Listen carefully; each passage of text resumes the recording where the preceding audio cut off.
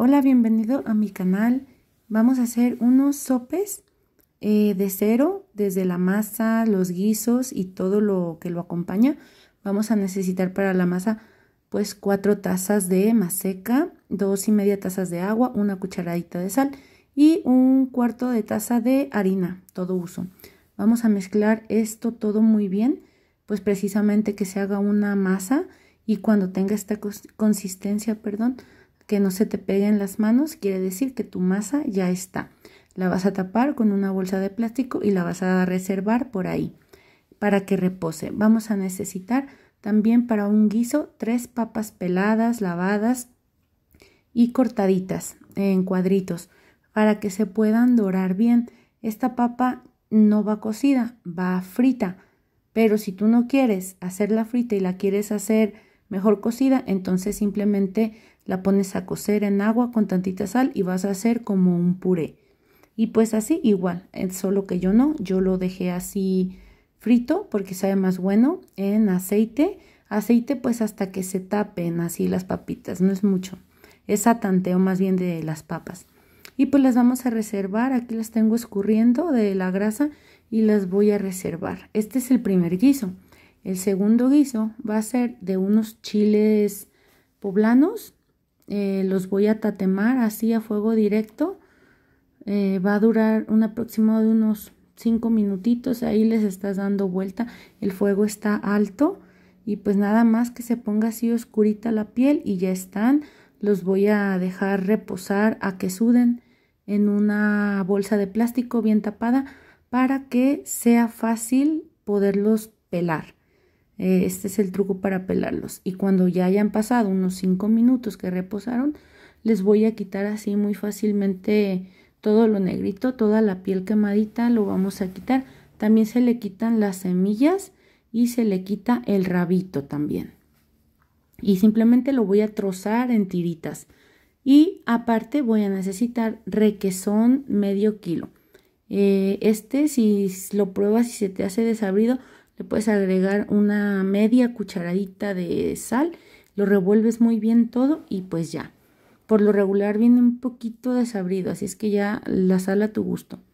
También para otro guiso vamos a necesitar frijoles fritos. En mi canal tengo un video de cómo hacer los frijoles fritos, te sugiero que lo veas. Y ahí está todo el procedimiento y pues aquí están y los voy a reservar. También voy a necesitar dos jitomates grandes, maduros o cuatro chicos, media cebolla, un diente de ajo y una pizca de mejorana. ¿Qué voy a hacer con estos ingredientes? Pues voy a hacer una salsa suave, una salsa que no pique. Esta es la salsa, la salsa suave no picosa. Entonces simplemente le pongo a cocer con dos tacitas de agua eh, sin sal, así nada más, los dos jitomates, la cebolla y el dientito de ajo a fuego alto.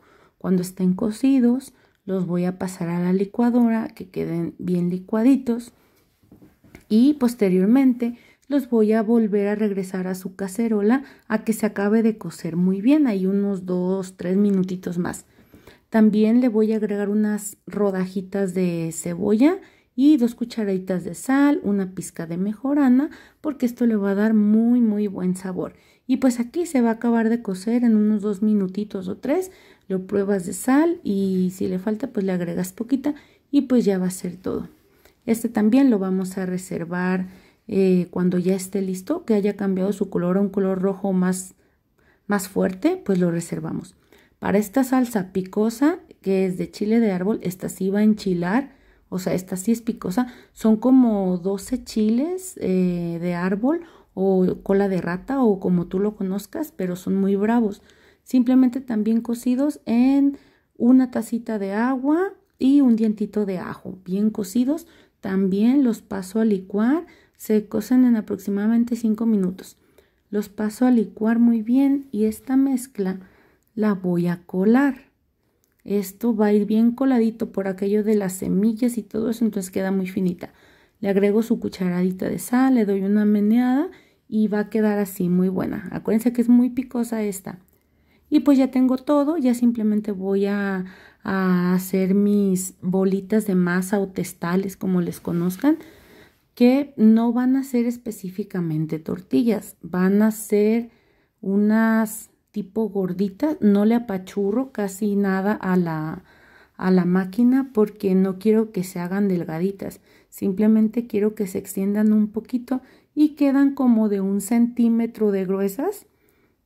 Y así, este es el tamaño que me gusta, son un tipo de sopes como medianos, no están chiquitos, no están grandes. Y así los voy a ir haciendo. Para esto yo ya tengo un comal a fuego medio calentándose para irlas poniendo. Conforme las vaya haciendo, las voy a ir poniendo. Y pues voy haciendo las que se necesiten. Así es que la masa les va a rendir mucho. Entonces aquí cuando haya pasado que las puse, pasa un minuto y le doy la vuelta. Pasa otro minuto y ya las retiro. ¿sí? Van a, ser, van a cocerse de un minuto por cada lado a un fuego medio. Esta que está aquí en medio del comal mm, la dejo como cinco minutos porque casi no le está dando el calor, entonces simplemente para aprovechar el espacio, pero esa la tengo que dejar más ratito. Las otras sí, las pongo un minuto por un lado, otro minuto por el otro y ya, las retiro del fuego eh, van a estar como semicocidas, no van a estar completamente cocidas, pero es necesario este paso, es necesario porque les vamos a hacer una forma como de pellizcada alrededor, pues realmente las vamos a pellizcar y esta es la forma de los sopes, ¿verdad? Entonces cuando esta tortilla, bueno, no, más bien este este trocito de masa ya esté, pues ya lo retiro. Acuérdense que las de en medio, las que no les dé el fuego directamente, pues duran como cinco minutitos más o menos. Y pues así me voy yendo con, con todas las estas tortillitas gorditas, este, que pues van a ser unos sopecitos en realidad. Me voy haciéndolas todas. Para esto también debo tener una cacerola con aceite para poderlas freír porque estas van a ir fritas para que se terminen de, de cocer bien. Ya el doradito que quieras se los vas a dar a tu gusto.